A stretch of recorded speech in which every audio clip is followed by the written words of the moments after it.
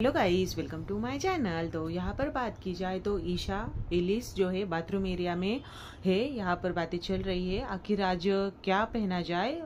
आज कुछ स्पेशल होने ही वाला है तो चल रहा है इनका। आखिर क्या पहना जाए? तो ईशा बोल रही है, यहाँ पर सूट पहन लेती हूँ। अविनाश को भी सूट काफ़ी ज़्यादा पसंद है। वैसे तो ये तीनों जो है ट्विनिंग करते हैं।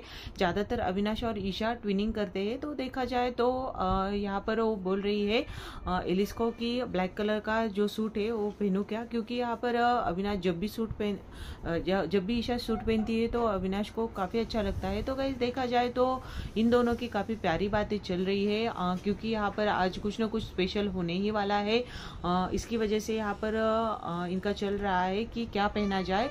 अविनाश को जो पसंद है वो यहाँ पर ईशा को अच्छा लगता है पहनने के लिए। तो ये बातें चल रही है इनकी। तो वैसे देखा जाए तो अविनाश जो है ईशा के लिए कुछ ना कुछ बनाता ही है। वैसे ही यहाँ पर आज कॉफ़ी बनाकर लाया था।